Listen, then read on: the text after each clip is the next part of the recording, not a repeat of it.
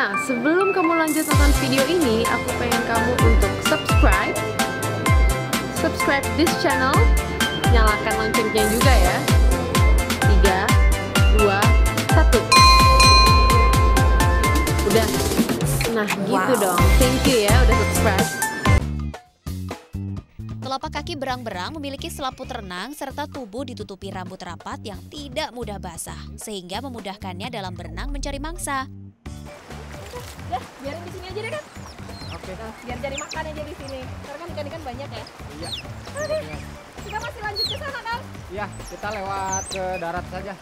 Istirahat dulu di situ kali ya. Ya. Istirahat bentar kali ya, karena capek banget arusnya. Tadi sempat lihat bagaimana. Terus gadis juga sempat terpleset-pleset juga di situ. Jadi, oh ke pinggir dulu deh sama kan jarak. Eh kan? Ayo. Ayo, bye-bye. Pegel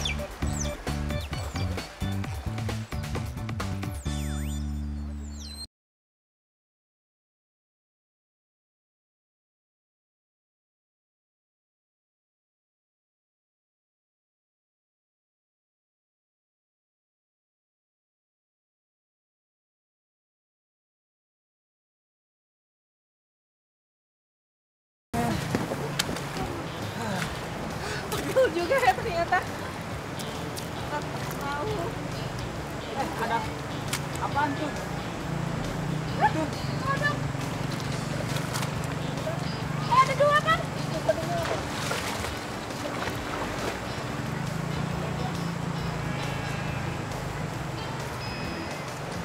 Oh, ah, gede banget.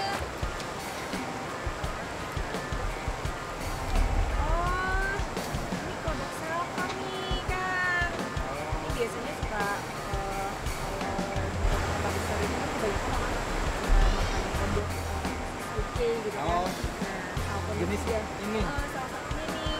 Tuh lihat gede banget kan? Kodok umumnya berkulit halus, lembab, dan dengan kaki belakang yang panjang. Tadi masuk ke lubang. Wah, padahal ada dua tadi. Satu di situ, satu di sini gitu.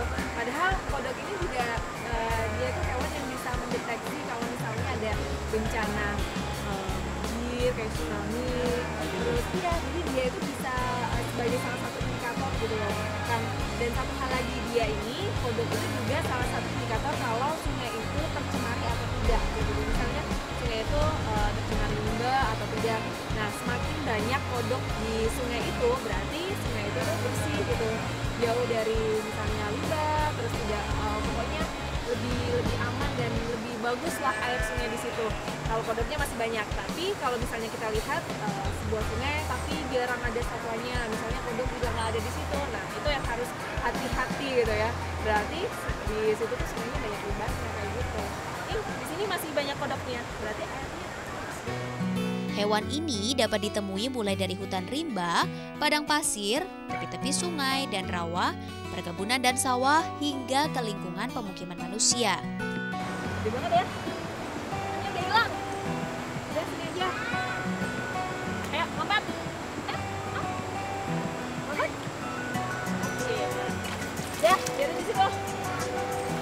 Kita arus yang mana lagi nih, Kang? Yang sebelah mana? Kita masuk ke sebelah sana, kita lanjut perjalanan. Lanjut lagi ya. Oke. Masih jauh nih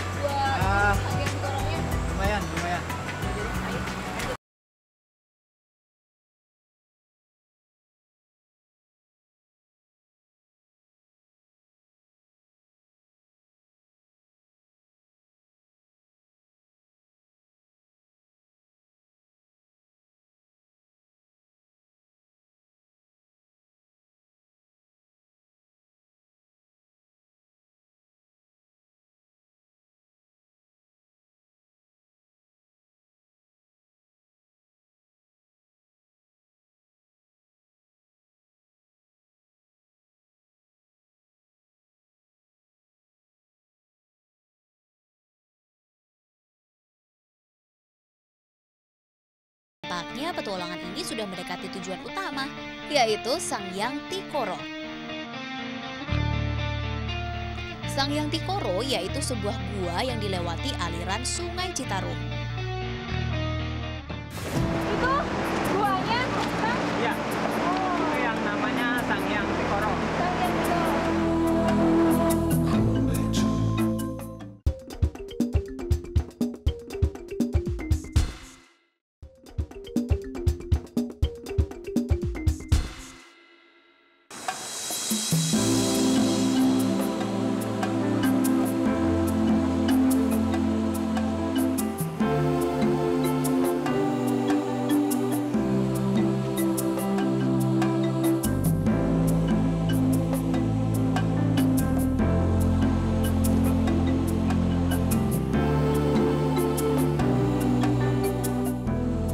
Legenda Sang Yang Tikoro adalah lokasi jebolnya Danau Bandung.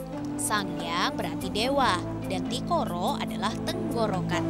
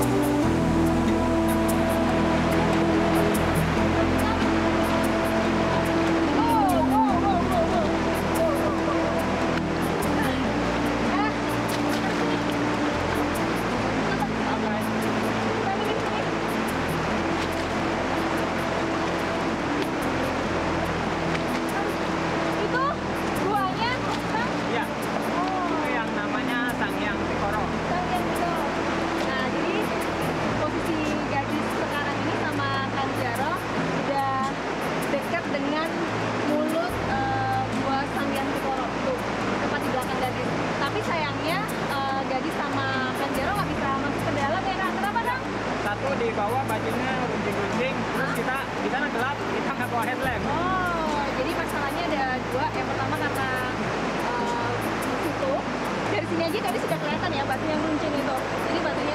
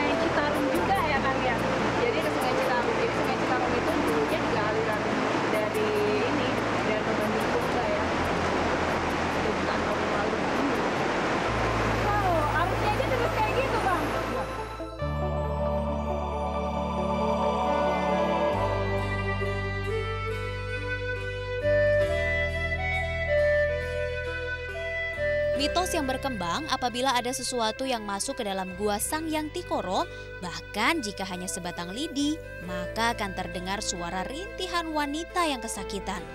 Dan Bandung akan kembali terkenang air seperti zaman Sang Kuryang. Wow, mitosnya cukup menakutkan ya.